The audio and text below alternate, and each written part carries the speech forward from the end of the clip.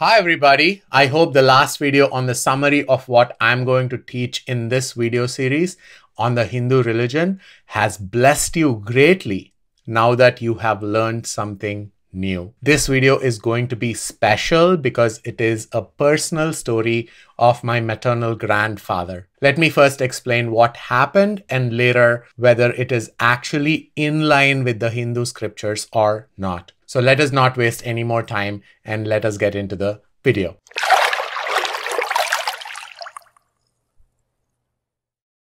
My name is Andy and you're watching Gospel in Action. In this channel, I strive to teach all about the Bible, the prophecies, and Hinduism from a Christian perspective.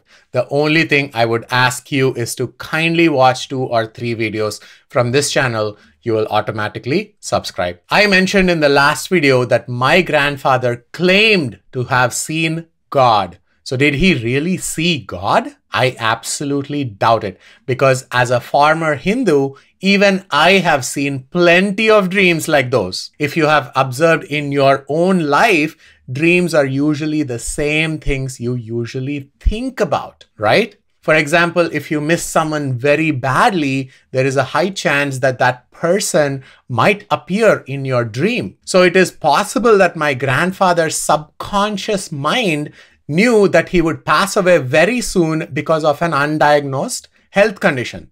So it could have hinted him to be prepared for death by presenting him something that he believed in strongly. Or it could have been an evil spirit deceiving him.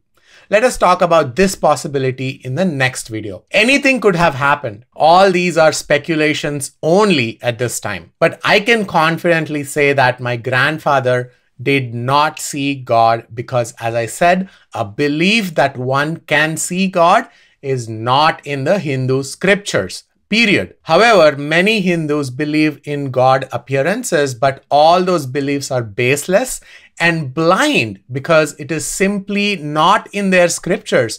Or those beliefs are based on mythological stories, but not on their root scriptures, the Vedas, or even Bhagavad Gita for that matter.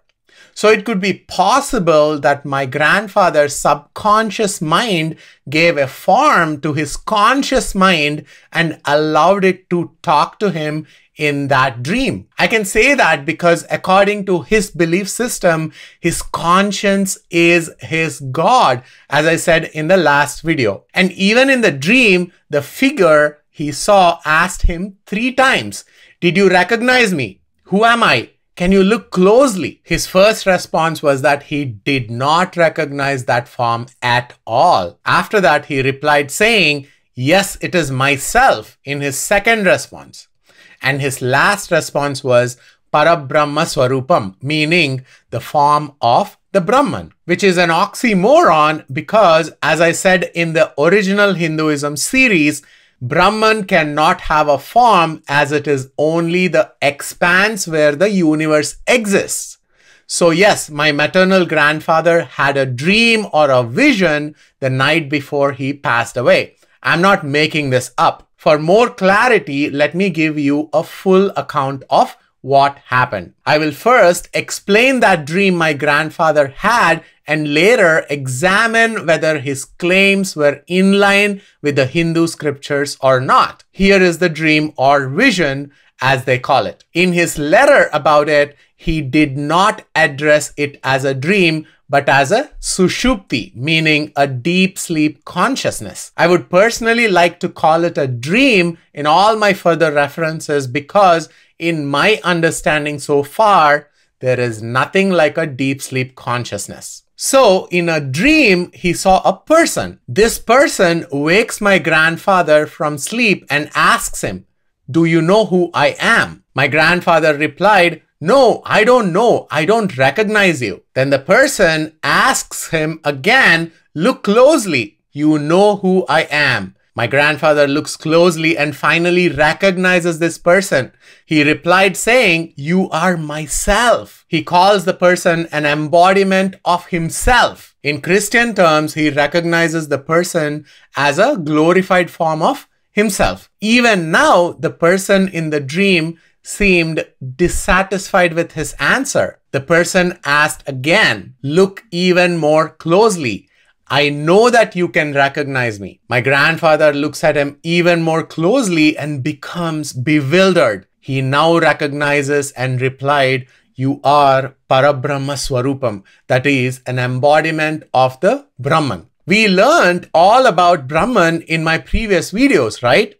I will post the links to those videos in the description as well. The person in the dream finally gets satisfied with my grandfather's answer and says to him, Come to me. As my grandfather walked toward the person in the dream, the dream ended and my grandfather woke up. He thought the dream was unusual and decided to write it down on a piece of paper. He did that and put the letter on his personal altar where he performs his daily rituals.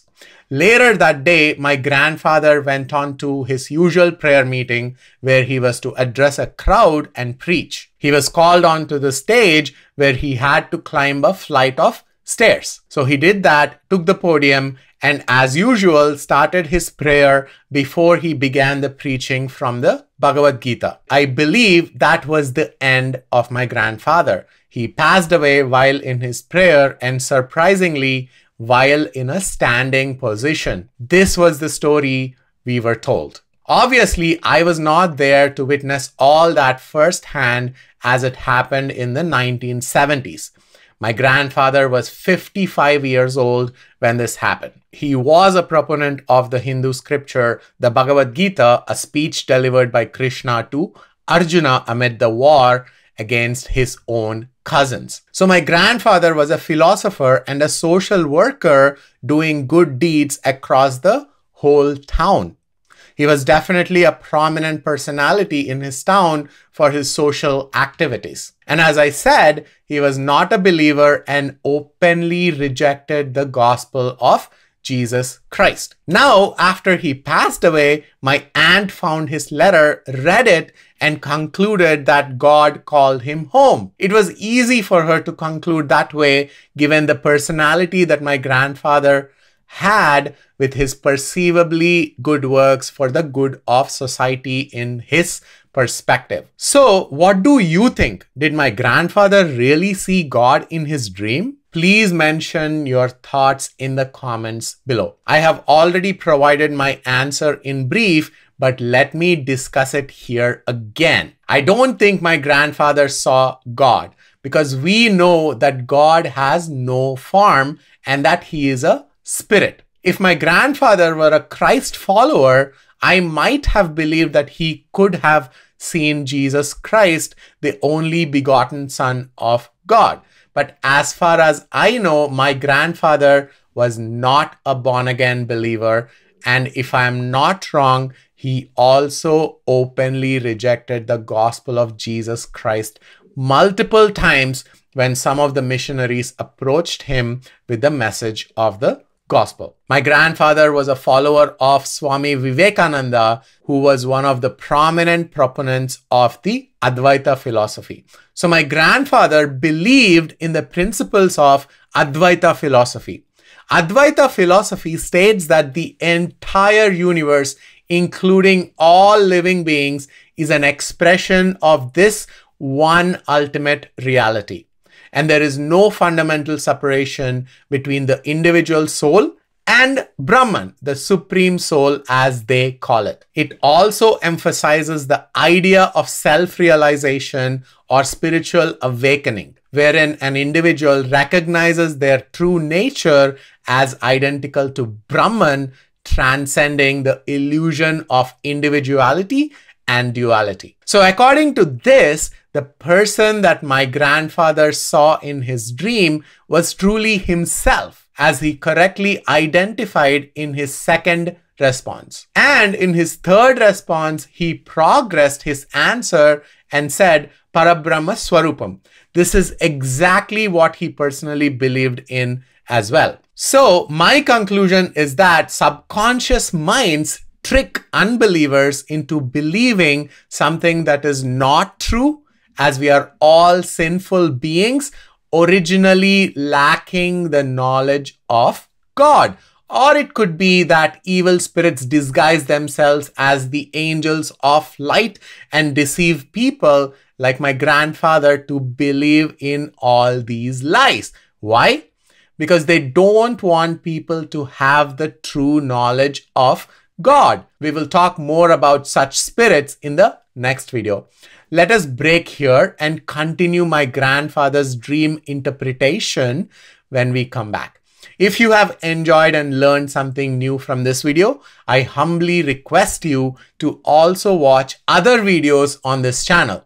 I'm sure you'll be encouraged to support this channel by just subscribing to it. And please don't forget to share it with those who might benefit from these videos and be that spark that ignites a change in someone else's life. Together, let's create a community of knowledge and inspiration. God bless you.